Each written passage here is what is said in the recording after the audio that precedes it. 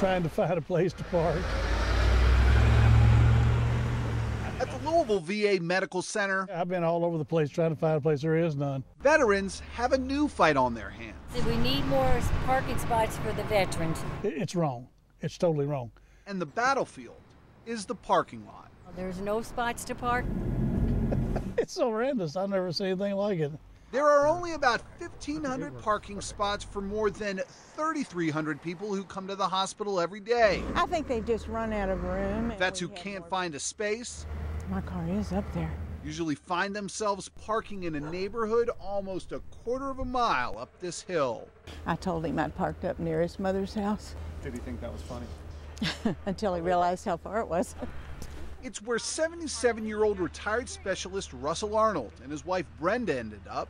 I've got two replaced hips and one uh, right knee replaced, and the left one's going too. I mean, can you imagine somebody who lost a limb trying to make this walk? They couldn't, I don't think. Well, I would say it would be difficult. Neighbors say it's difficult to watch, too. handicapped folks, you know, trying to make their way down to the hospital. You know, I've seen amputees uh, walk into, uh, you know, hospital or, you know, being put, like I said, pushed down in, in wheelchairs. But it's just sad. Like I said, some things you see and it's just can't even believe it's going on. The problem is compounded in the dead of winter on a wet day like today. A lot of these veterans have to park in mud like this and then trek through all this stuff to get to the hospital. And last week, I had to have a tow truck pull me out because I got stuck in this muck. A helicopter accident ended retired Lance Corporal Eddie Newcomb's Marine career, and he comes to the VA for treatment once a week. He calls the parking situation deplorable.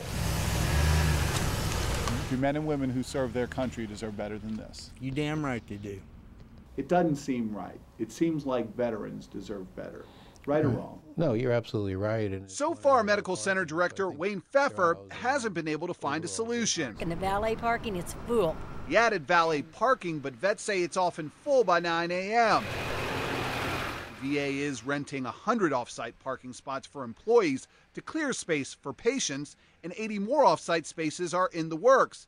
The VA is also reconfiguring some of its own parking lots, adding even more spaces. Still, it is just a fraction of what veterans need. Is this an unfixable situation? Um, I think until we either get a new hospital or a parking garage, we're not going to have a perfect parking situation. But a new VA is at least eight years away, and that new on site parking garage, which will cost $9 million, hasn't been approved by the federal government. Neighbors have asked Congressman Yarmuth and Councilwoman Ward Pugh to step in, but calls and letters from the elected officials haven't accomplished much. The VA did put up some signs at the back gate to discourage vets from parking on the street. That could lead to parking tickets for the vets and no solution to their parking problem. About 22 minutes ago we arrived, so we're going to have to come back another day. Even Governor Beshear got an earful when he visited the VA the day after Valentine's Day. We got your Valentine from the people of the Commonwealth. Okay, tell me to build a, parking garage. Yeah, I know. So, retired specialist Russell Arnold's military service might be worth a lot of things. There we are. Yeah, there we are. It's just not always worth a place to park.